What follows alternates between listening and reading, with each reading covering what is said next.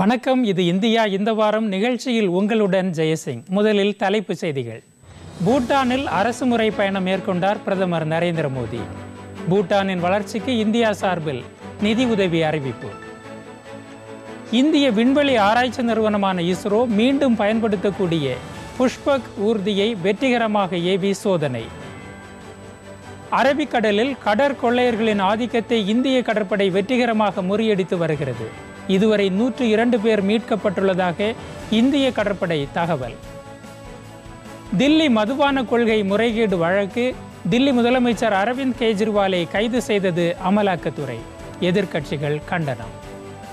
உச்சநீதிமன்ற தீர்ப்பு எதிரொலி தேர்தல் பத்திரங்கள் தொடர்பான முழு விவரங்களை எண்களுடன் வழங்கியது பாரத ஸ்டேட் வங்கி வெளியிட்டது தேர்தல் ஆணையம். திமுக சட்டமன்ற உறுப்பினர் க. பொன்முடி மீண்டும் அமைச்சராக பதவியேற்றார். நீதிமன்ற தீர்ப்பை அடுத்து பொறுப்பேற்பு. தெலங்கானா புதுச்சேரி ஆளுநர் பொறுப்பு ஜார்க்கண்ட் ஆளுநர் சி. பி. ராதாகிருஷ்ணனுக்கு கூடுதலாக வழங்கப்பட்டது.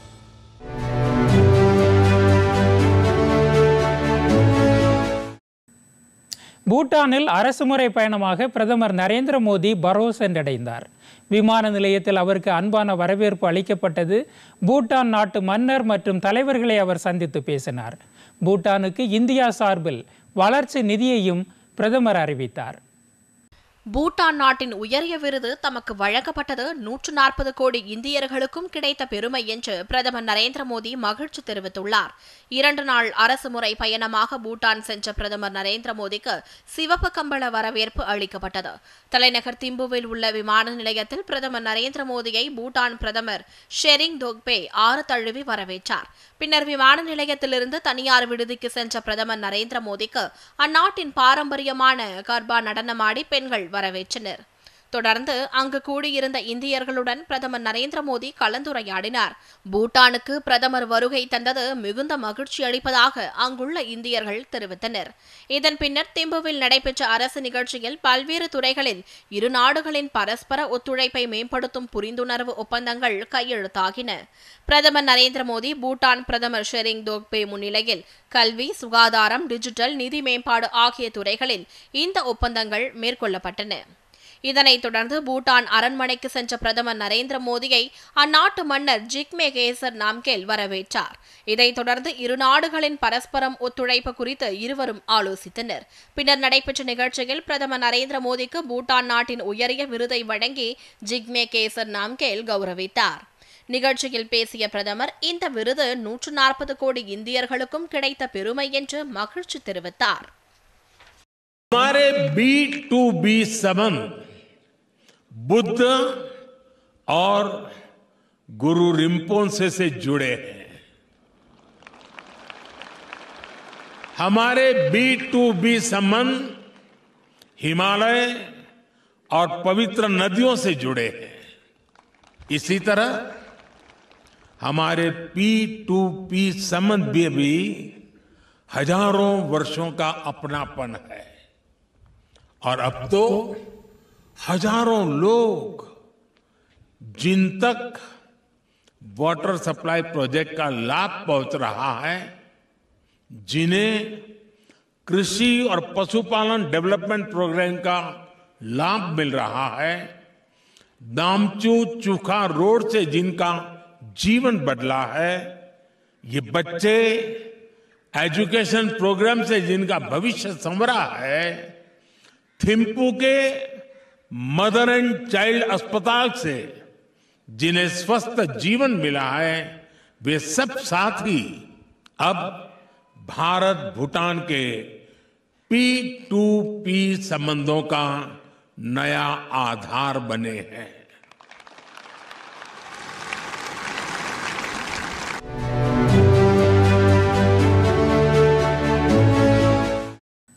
தில்லி மதுபான கொள்கை முறைகேடு வழக்கில் தில்லி முதலமைச்சர் அரவிந்த் கெஜ்ரிவாலை அமலாக்கத்துறை கைது செய்துள்ளது. எதிர்க்கட்சிகளை குறிவைத்து அரசியல் செய்யப்படுவதாக எதிர்க்கட்சிகள் தங்களது எதிர்ப்பை தெரிவித்துள்ளன. தில்லி மதுபான கொள்கை முறைகேடு வழக்கில் தில்லி முதலமைச்சர் அரவிந்த் கெஜ்ரிவாலை அமலாக்கத்துறை கைது செய்துள்ளது. இந்த வழக்கு தொடர்பாக அரவிந்த் கெஜ்ரிவாலுக்கு அமலாக்கத்துறை ஒன்பது முறை சம்மன் அனுப்பியது. தமக்கு சம்மன் அனுப்பியது சட்டவிரோதம் என கூறிய அவர் ஏழு மற்றும் எட்டாவது முறை சம்மன் அனுப்பிய போது நீதிமன்றத்தை நாடினார். இதையடுத்து கெஜ்ரிவாலுக்கு நீதிமன்றம் ஜாமீன் வழங்கியது. இதற்கிடையே ஒன்பதாவது முறையாக அமலாக்கத்துறை அவருக்கு சம்மன் அனுப்பியது. சம்மனுக்கு எதிராக தில்லி உயர்நீதிமன்றத்தில் அரவிந்த் கெஜ்ரிவால் தொடர்ந்த வழக்கில் சம்மனுக்கு தடை விதிக்க நீதிபதி மறுத்துவிட்டார். இதனைத் தொடர்ந்து தமக்கு எதிராக அமலாக்கத்துறை அதிகாரிகள் நடவடிக்கை எடுக்கக்கூடாது என்று உத்தரவிடுமாறு கோரி தில்லி உயர்நீதிமன்றத்தில் தொடர்பில் கெஜ்ரிவால் தரப்பில் புதிய மனு தாக்கல் செய்யப்பட்டது. விசாரணைக்கு ஆஜராகும் போது தம்மை அமலாக்கத்துறை கைது செய்ய மாட்டோம் என உறுதியளிக்க வேண்டும் என்றும் அம்மனுவில் குறிப்பிடப்பட்டிருந்தது. இந்த மனுவை விசாரித்த நீதிமன்றம் எந்த உத்தரவாதத்தையும் வழங்க முடியாது என்று தெரிவித்தது. இந்நிலையில் அரவிந்த் கெஜ்ரிவால் இல்லத்திற்கு நேரடியாக சென்ற அமலாக்கத்துறை சோதனை நடத்தியது. மேலும் அதிகாரிகள் அவரிடம் விசாரணை மேற்கொண்டனர். இதைத் தொடர்ந்து கெஜ்ரிவாலை அமலாக்கத்துறை அதிகாரிகள் கைது செய்தனர்.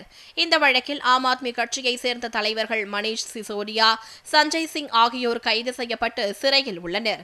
இதன் தொடர்ச்சியாக தெலுங்கானா முன்னாள் முதலமைச்சர் சந்திரசேகர ராவ் மகள் கவிதாவும் சமீபத்தில் கைது செய்யப்பட்டார்.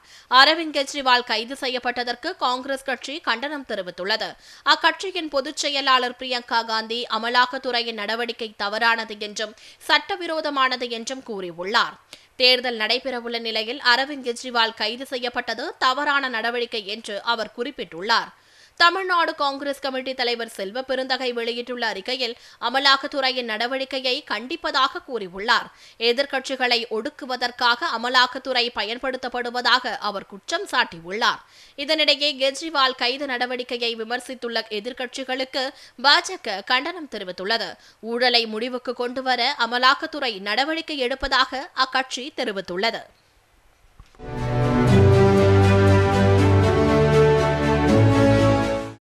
தேர்தல் பத்திரங்கள் தொடர்பான அனைத்து விவரங்களையும் அவற்றின் எண்களுடன் தேர்தல் ஆணையம் வெளியிட்டுள்ளது. பத்திரங்களின் விவரங்களை வெளியிடுமாறு இந்த பத்திர விற்பனைக்கு அனுமதிக்கப்பட்ட ஒரே வங்கியான பாரத ஸ்டேட் வங்கிக்கு உச்சநீதிமன்றம் உத்தரவிட்டது. இதைத் தொடர்ந்து இந்த நடவடிக்கை எடுக்கப்பட்டுள்ளது. தேர்தல் பத்திரங்கள் தொடர்பான அனைத்து விவரங்களையும் அவற்றின் எண்களுடன் தேர்தல் ஆணையம் வெளியிட்டுள்ளது. தேர்தல் பத்திரங்களை பெற்ற அரசியல் கட்சிகள் மற்றும் நன்கொடை தொகை விவரங்கள் உள்ளிட்டவற்றை தேர்தல் ஆணையத்திடம் சமர்ப்பிக்க பாரத ஸ்டேட் வங்கிக்கு உச்சநீதிமன்றம் உத்தரவிட்டிருந்தது. இதைத் தொடர்ந்து தேர்தல் பத்திரங்கள் தொடர்பான அனைத்து விவரங்களையும் ஸ்டேட் வங்கி வழங்கியது.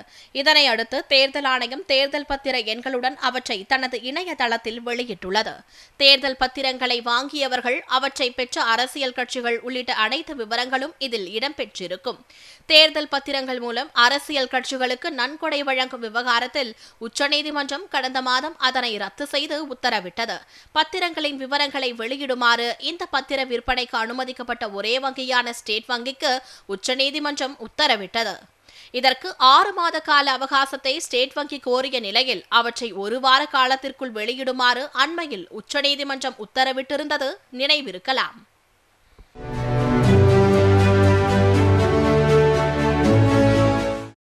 நாடு முழுவதும் ஏப்ரல் பத்தொன்பதில் இருந்து ஜூன் ஒன்றாம் தேதி வரை தேர்தலுக்கு பிந்தைய கருத்து கணிப்புகளை வெளியிட தேர்தல் ஆணையம் தடை விதித்துள்ளது. நாடு முழுவதும் ஏப்ரல் பத்தொன்பதிலிருந்து ஜூன் ஒன்றாம் தேதி வரை தேர்தலுக்கு பிந்தைய கருத்து கணிப்புகளை வெளியிட தேர்தல் ஆணையம் தடை விதித்துள்ளது. நாடாளுமன்ற தேர்தல் ஏப்ரல் பத்தொன்பதாம் தேதி தொடங்கி ஜூன் ஒன்றாம் தேதி வரை ஏழு கட்டங்களாக நடைபெறவுள்ளது. முதற்கட்டமாக வாக்குப்பதிவு நடைபெறும் தமிழகம் உள்ளிட்ட இருபத்தோரு மாநிலங்களின் நூற்றி இரண்டு தொகுதிகளில் ஏப்ரல் பத்தொன்பதாம் தேதி வாக்குப்பதிவு நடைபெறவுள்ளது. ஏழாம் கட்ட வாக்குப்பதிவு மேற்கு வங்கம் உள்ளிட்ட எட்டு மாநிலங்களின் ஐம்பத்தி ஏழு தொகுதிகளில் ஜூன் ஒன்றாம் தேதி நடைபெறுகிறது. நாடாளுமன்ற தேர்தல் நான்கு மாநில சட்டப்பேரவை தேர்தல் இடைத்தேர்தலில் பதிவாகும் வாக்குகள் ஜூன் நான்காம் தேதி எண்ணப்பட உள்ளன. இந்நிலையில் நாடு முழுவதும் ஏப்ரல் பத்தொன்பதிலிருந்து ஜூன் ஒன்றாம் தேதி வரை தேர்தலுக்கு பிந்தைய கருத்து கணிப்பு நடத்த தேர்தல் ஆணையம் தடை விதித்துள்ளது. இதன்படி ஏப்ரல் பத்தொன்பதாம் தேதி காலை ஏழு மணி முதல் ஜூன் ஒன்றாம் தேதி மாலை ஆறு முப்பது மணி வரை தேர்தலுக்கு பிந்தைய கருத்து கணிப்பு முடிவுகளை வெளியிடக்கூடாது. இந்த தடை உத்தரவு மக்களவைத் தேர்தல் நடைபெறும் அனைத்து மாநிலங்கள் சட்டப்பேரவை தேர்தல் நடைபெறும் ஆந்திரா அருணாச்சல பிரதேசம் ஒடிசா மற்றும் சிக்கிம் மாநிலங்களுக்கும் பனிரண்டு மாநிலங்களில் இடைத்தேர்தல் நடைபெறவுள்ள இருபத்தைந்து தொகுதிகளுக்கும் பொருந்தும்.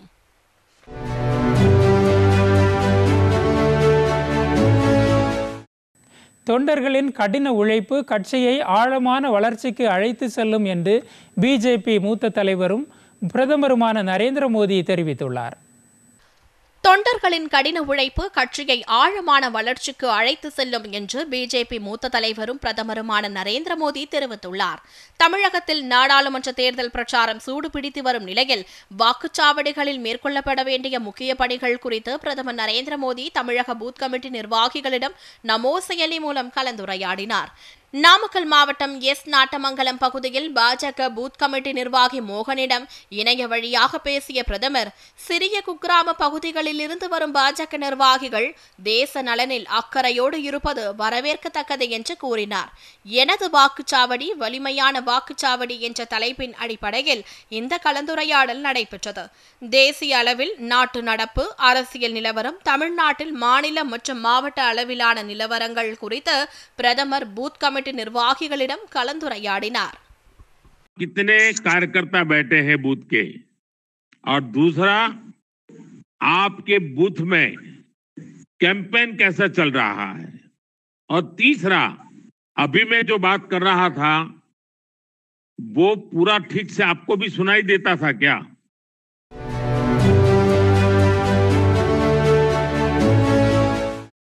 மக்களவை தேர்தல் நேர்மையுடனும் நம்பகத்தன்மையுடனும் நடைபெற வேண்டியது அவசியம் என்று காங்கிரஸ் கட்சி வலியுறுத்தியுள்ளது. கட்சியின் வங்கி கணக்குகள் முடக்கப்பட்டது தொடர்பாக தில்லியில் அக்கட்சியின் தலைவர் மல்லிகார்ஜுன கார்கே முன்னாள் தலைவர்கள் சோனியா காந்தி ராகுல் காந்தி ஆகியோர் கூட்டாக செய்தியாளர்களை சந்தித்த போது இவ்வாறு கூறப்பட்டது. மக்களவைத் தேர்தல் நேர்மையுடனும் நம்பகத்தன்மையுடனும் நடைபெற வேண்டியது அவசியம் என்றும் காங்கிரஸ் கட்சி வலியுறுத்தியுள்ளது. காங்கிரஸ் கட்சியின் வங்கிக் கணக்குகள் முடக்கப்பட்டது தொடர்பாக தில்லியில் அக்கட்சியின் தலைவர் மல்லிகார்ஜுன கார்கே முன்னாள் தலைவர்கள் சோனியா காந்தி ராகுல் காந்தி ஆகியோர் கூட்டாக செய்தியாளர்களை சந்தித்தனர். அப்போது பேசிய சோனியா காந்தி மக்களிடம் இருந்து காங்கிரஸ் நிதி பெற்றதாகவும் அதை முடக்குவது ஜனநாயக விரோத செயல் என்றும் கூறினார். பின்னர் பேசிய மல்லிகார்ஜுன கார்கே மக்களவைத் தேர்தல் நேர்மையாக நேர்மையாகவும் நம்பகத்தன்மையுடனும் நடத்தப்பட வேண்டியது அவசியம் என தெரிவித்தார். அனைவரும் ஜனநாயகத்தை காக்க ஒன்றிணைந்து போராட வேண்டும் என்றும் கார்கே குறிப்பிட்டார். தொடர்ந்து பேசிய ராகுல் காந்தி காங்கிரஸ் கட்சியின் வங்கிக் கணக்குகள் முடக்கப்பட்டது நாட்டில் ஜனநாயகம் இல்லை என்பதை எடுத்து காட்டுவதாக கூறினார். உலகின் மிகப்பெரிய ஜனநாயக நாடு இந்தியா என்பது மிகப்பெரிய பொய் என்றும் அவர் குறிப்பிட்டார்.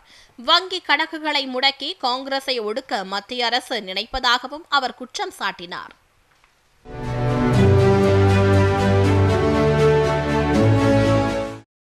மக்களவைத் தேர்தலில் நானூறு தொகுதிகள் என்ற இலக்கை குறிக்கோளாக கொண்டு பாஜக செயல் வீரர்கள் கடுமையாக உழைக்க வேண்டும் என அக்கட்சியின் மூத்த தலைவர்களில் ஒருவரும் மத்திய அமைச்சருமான ஸ்மிருதி இரானி வலியுறுத்தியுள்ளார்.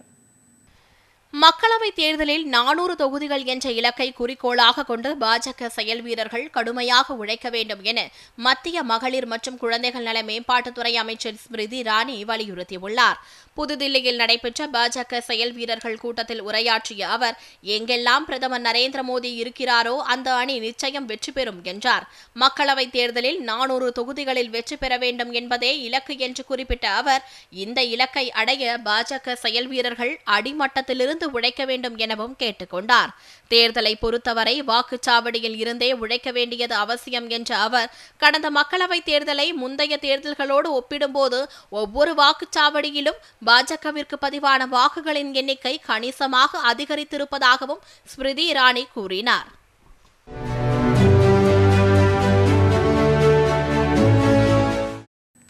இந்திய விண்வெளி ஆராய்ச்சி நிறுவனமான இஸ்ரோ மீண்டும் பயன்படுத்தக்கூடிய புஷ்பக் ஊர்தியை வெற்றிகரமாக ஏவி சோதனை நடத்தியுள்ளது. ககன்யான் திட்டத்தை செயல்படுத்துவதில் இது ஒரு மைல் கல்லாக கருதப்படுகிறது. இந்திய விண்வெளி ஆராய்ச்சி நிறுவனமான இஸ்ரோ மீண்டும் பயன்படுத்தக்கூடிய புஷ்பக் ராக்கெட்டை வெற்றிகரமாக ஏவி சோதனை நடத்தியது. கர்நாடக மாநிலம் சித்ரதுர்கா அருகே உள்ள சல்லக்கேராயில் உள்ள ஓடுபாதையில் இந்த ஆர்எல்வி செலுத்தும் வாகனம் துல்லியமாக தரையிறங்கியது. இந்த சோதனையை நேரில் பார்வையிட்ட இஸ்ரோ தலைவர் சோம்நாத் துல்லியமாக சோதனை நடத்திய விஞ்ஞானிகள் குழுவினரை பாராட்டினார். இந்த ராக்கெட்டின் முதல் சோதனை கடந்த ஆண்டு ஏப்ரல் மாதம் சல்லக்கேரையில் நடைபெற்றது. இதற்கிடையே ஸ்ரீஹரிகோட்டா சதீஷ் தவான் விண்வெளி ஆய்வு மையத்திலிருந்து ஏவப்படவிருந்த அக்னிபான் ராக்கெட் ஏவும் பணி தொழில்நுட்ப கோளாறு காரணமாக தள்ளி வைக்கப்பட்டுள்ளதாக இஸ்ரோ தெரிவித்துள்ளது. அக்னிபான் ராக்கெட் ஏவப்படும் தேதி பின்னர் அறிவிக்கப்படும் என விஞ்ஞானிகள் தெரிவித்தனர்.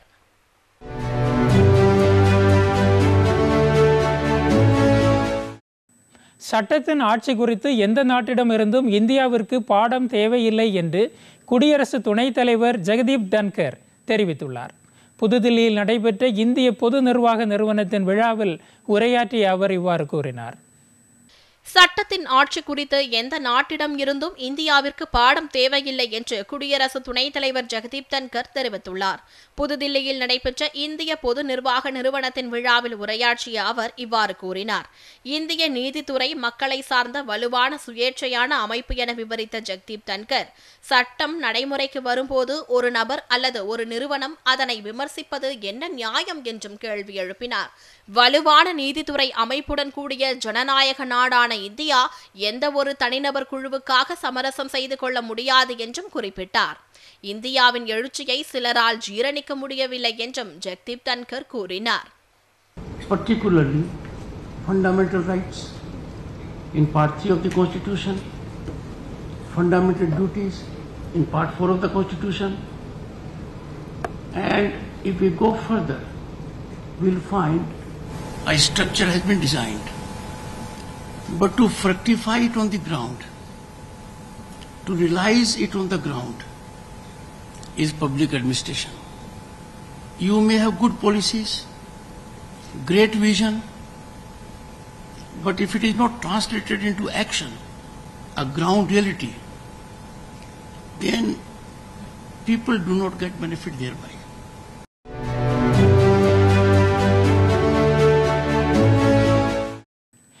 திமுக சட்டமன்ற உறுப்பினரும் முன்னாள் அமைச்சருமான கா. பொன்முடி மீண்டும் அமைச்சராக பதவியேற்றுக் கொண்டார்.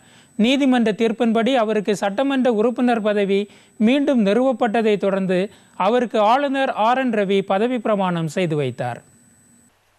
திமுக சட்டமன்ற உறுப்பினரும் முன்னாள் அமைச்சருமான பொன்முடி மீண்டும் அமைச்சராக பதவியேற்றுக் கொண்டார். சென்னை கிண்டியில் உள்ள ஆளுநர் மாளிகையில் நடைபெற்ற நிகழ்ச்சியில் பொன்முடிக்கு ஆளுநர் ஆர் என் ரவி பதவி பிரமாணம் செய்து வைத்தார். இந்த நிகழ்ச்சியில் முதலமைச்சர் மு க ஸ்டாலின் உடன் இருந்தார். தலைமைச் செயலாளர் சிவ்தாஸ் மீனா அமைச்சர்கள் உதயநிதி ஸ்டாலின் மா. சுப்பிரமணியன் பி. கே. சேகர் பாபு உள்ளிட்டோரும் பங்கேற்றனர். முதலமைச்சரின் பரிந்துரையை ஏற்ற ஆளுநர் ஆர் என் ரவி பிற்படுத்தப்பட்டோர் நலத்துறை அமைச்சர் ராஜ கண்ணப்பனிடம் கூடுதல் பொறுப்பாக வழங்கப்பட்டிருந்த உயர்கல்வித்துறை மீண்டும் பொன்முடிக்கு ஒதுக்கியுள்ளார். உச்சநீதிமன்ற அறிவுறுத்தலை தொடர்ந்து இந்த பதவி பிரமாண நிகழ்ச்சி நடைபெற்றது.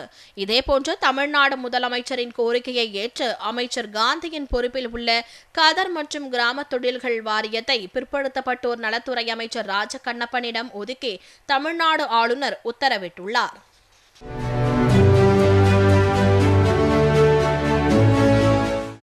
புதுச்சேரி துணைநிலை ஆளுநராக ஜார்க்கண்ட் ஆளுநர் சி பி ராதாகிருஷ்ணன் பதவியேற்றுக் கொண்டார்.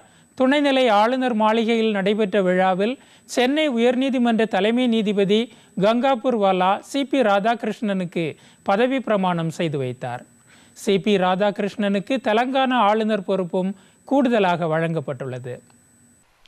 புதுச்சேரி துணைநிலை ஆளுநராக சி. பி. ராதாகிருஷ்ணன் பதவியேற்றுக் கொண்டார். துணைநிலை ஆளுநர் மாளிகையில் நடைபெற்ற விழாவில் சென்னை உயர்நீதிமன்ற தலைமை நீதிபதி கங்கா பூர்வாலா சி. பி. ராதாகிருஷ்ணனுக்கு பதவி பிரமாணம் செய்து வைத்தார்.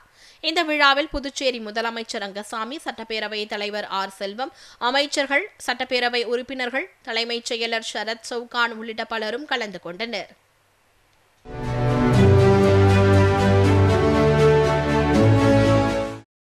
தமிழ்நாட்டிற்கு தேவையான நிதியை பாஜக அரசு வழங்குவதில்லை என்று முதலமைச்சர் மு க ஸ்டாலின் விமர்சித்துள்ளார். பேரிடர் வேலைகளில் வராத பிரதமர் தேர்தல் வேலைகளில் அடிக்கடி தமிழகம் வருவதாக அவர் குறிப்பிட்டார். தமிழ்நாட்டிற்கு தேவையான நிதியை பாஜக அரசு வழங்குவதில்லை என்று முதலமைச்சர் மு ஸ்டாலின் விமர்சித்துள்ளார். நெல்லை நாங்குநேரி தேர்தல் பரப்புரை கூட்டத்தில் கூட்டணி கட்சி வேட்பாளர்களை ஆதரித்து முதலமைச்சர் வாக்கு சேகரித்தார். அப்போது பேசிய அவர் தமிழ்நாட்டில் பேரிடர் ஏற்பட்ட போது பிரதமர் நரேந்திர மோடி வருகை தராமல் தேர்தல் நேரத்தில் மட்டும் வருகை தருவதாக விமர்சித்தார். தமிழ்நாட்டு மக்களை பாஜக அரசு அவமதித்து வருவதாகவும் முதலமைச்சர் கூறினார். மக்களவைத் தேர்தலில் இண்டி கூட்டணி வேட்பாளர்களுக்கு ஆதரவு வழங்கும் வழங்குமாறு முதலமைச்சர் மு க ஸ்டாலின் கேட்டுக்கொண்டார்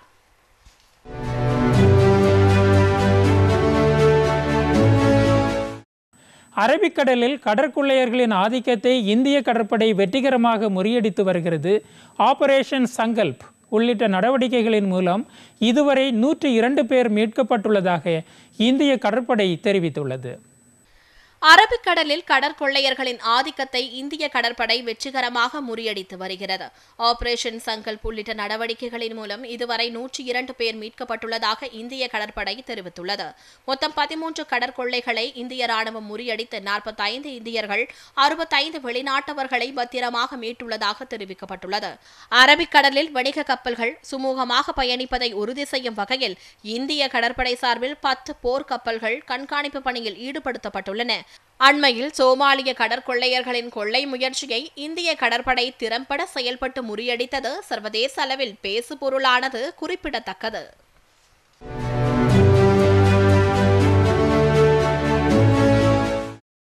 ஊடகங்களின் செயல்பாடுகள் ஒரு சார்புடன் இருக்கக்கூடாது என்று குடியரசு துணைத் தலைவர் ஜெகதீப் தங்கர் வலியுறுத்தியுள்ளார்.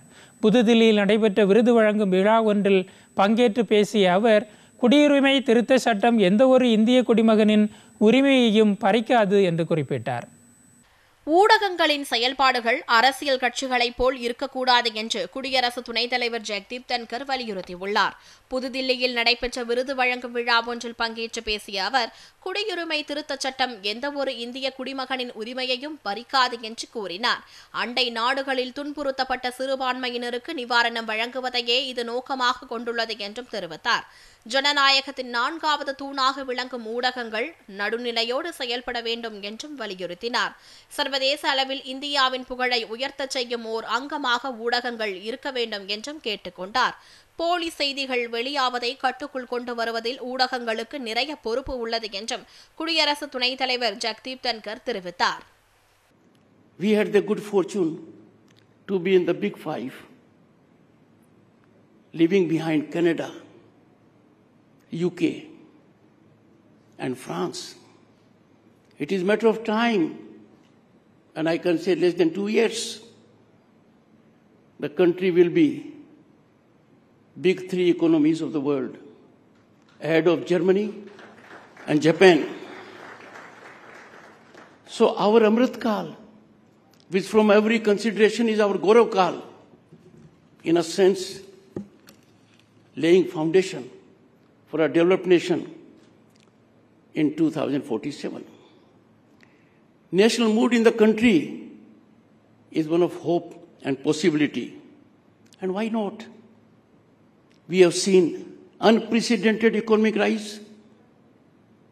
Those who claim to know economy, who were part of dispensation, and who thought and put it in public domain that rise will not be more than 5.5%, did not respond when the rise was over 7.5%.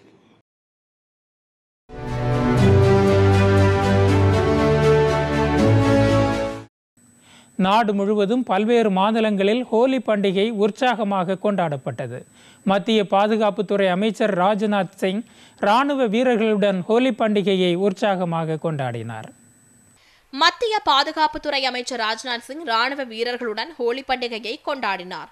Ladakh union பிரதேசத்தின் சியாச்சின் மலை சிகரம் செல்ல திட்டமிடப்பட்ட நிலையில் மோசமான வானிலை காரணமாக அமைச்சரின் பயண திட்டம் மாற்றியமைக்கப்பட்டது.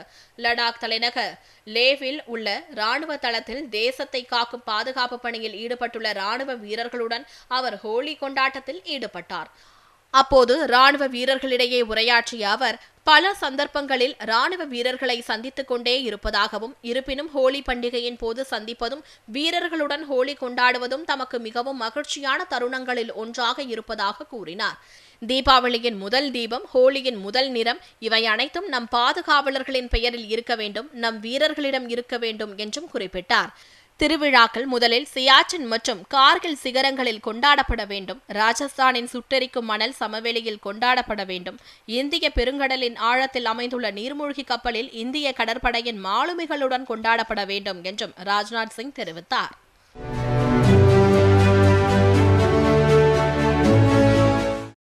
அருணாச்சல பிரதேசம் இந்தியாவின் ஒரு அங்கம் என மத்திய வெளியுறவுத்துறை அமைச்சர் ஜெய்சங்கர் சிங்கப்பூரில் நடைபெற்ற விழாவில் உறுதிபட தெரிவித்துள்ளார்.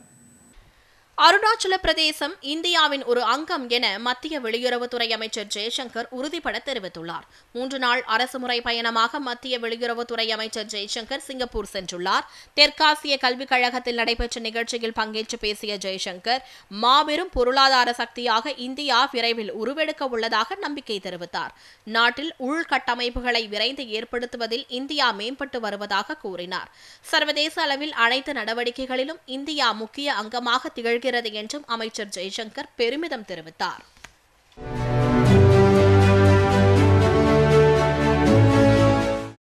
மக்களவை தேர்தலில் வாக்காளர் அடையாள அட்டை ஆதார் அட்டை உள்ளிட்ட பதிமூன்று ஆவணங்களை மாற்றாக காண்பித்து வாக்களிக்கலாம் என இந்திய தேர்தல் ஆணையம் அறிவிப்பு வெளியிட்டுள்ளது. மக்களவை தேர்தல் மற்றும் விளவங்கோடு சட்டப்பேரவை இடைத்தேர்தலில் வாக்காளர் அடையாள அட்டை ஆதார் அட்டை உள்ளிட்ட பதிமூன்று ஆவணங்களை காண்பித்து வாக்களிக்கலாம் என இந்திய தேர்தல் ஆணையம் அறிவிப்பு வெளியிட்டுள்ளது. இது தொடர்பாக வெளியிடப்பட்டுள்ள செய்திக்குறிப்பில் வாக்குச்சாவடியில் வாக்காளர் அடையாள அட்டையை அளிக்க இயலாதவர்கள் ஆதார் அட்டை ஓட்டுநர் உரிமம் இந்திய கடவுச்சீட்டு உள்ளிட்டவற்றை காண்பித்து வாக்களிக்கலாம் என அறிவுறுத்தப்பட்டுள்ளது. மேலும் மகாத்மா காந்தி தேசிய ஊரக வேலை உறுதியளிப்பு திட்டத்தின் பணி அடையாள அட்டை புகைப்படத்துடன் கூடிய வங்கி மற்றும் அஞ்சலக கணக்கு புத்தகங்கள் ஆகியவற்றையும் பயன்படுத்தலாம் என தெரிவிக்கப்பட்டுள்ளது. தொழிலாளர் நல அமைச்சக திட்டத்தின் கீழ் வழங்கப்பட்ட மருத்துவ காப்பீடு அட்டை பான் கார்டு ஆகியவற்றுக்கும் அனுமதி உண்டு என தேர்தல் ஆணையம் கூறியுள்ளது. புகைப்படத்துடன் கூடிய ஓய்வூதிய ஆவணம் மத்திய மாநில அரசுகள் பொதுத்துறை நிறுவனங்கள் தொழிலாளர்களுக்கு வழங்கிய புகைப்படத்துடன் கூடிய பணி அடையாள அட்டை ஆகியவற்றையும் பயன்படுத்தலாம் என்றும் தெரிவிக்கப்பட்டுள்ளது. நாடாளுமன்ற சட்டமன்ற சட்டமேலவை உறுப்பினர்களுக்கு வழங்கப்பட்ட அடையாள அட்டையை கொண்டு மக்கள் பிரதிநிதிகள் வாக்களிக்கலாம் என தெரிவிக்கப்பட்டுள்ளது. சமூக நிதி மற்றும் அதிகாரமளித்தல் அமைச்சகத்தால் வழங்கப்பட்ட இயலாமைக்கான தனித்துவமான அடையாள அட்டையையும் காண்பித்து வாக்களிக்கலாம் என்று தேர்தல் ஆணையம் தெரிவித்துள்ளது.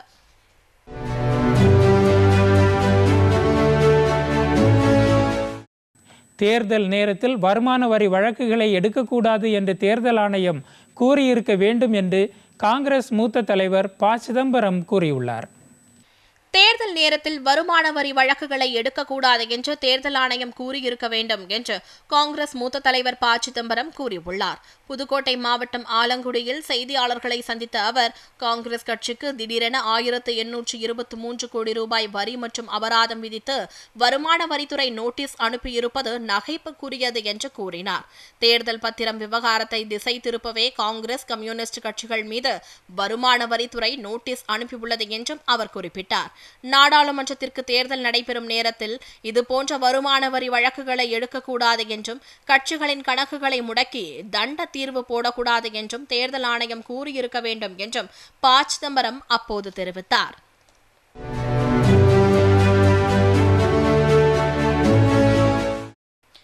பயங்கரவாத நடவடிக்கைகளை முற்றிலுமாக பாகிஸ்தான் நிறுத்திக் கொள்ள வேண்டும் என்ற இந்தியா கடுமையாக எச்சரிக்கை விடுத்துள்ளது. ஐநா கூட்டத்தில் பங்கேற்று பேசிய மாநிலங்களவை துணைத் தலைவர் ஹரிவன்ஸ் பயங்கரவாத நடவடிக்கைகளுக்கு நிதி உதவி வழங்குவதை பாகிஸ்தான் வழக்கமாக கொண்டுள்ளது என்றும் எல்லை தாண்டிய பயங்கரவாதத்தை அந்நாடு ஆதரித்து வருவதாகவும் தெரிவித்தார். பாகிஸ்தானின் இத்தகைய போக்கை இந்தியா ஒருபோதும் ஏற்காது என்றும் ஹரிவன்ஸ் திட்டவட்டமாக கூறினார். ஜம்மு காஷ்மீர் லடாக் ஆகிய பகுதிகள் இந்தியாவின் ஒருங்கிணைந்த பகுதி என்றும் ஹரிவன்ஸ் தெரிவித்தார். இந்தியா மீது பாகிஸ்தான் விமர்சனம் வைப்பது வேடிக்கையானது என்றும் அவர் கூறினார்.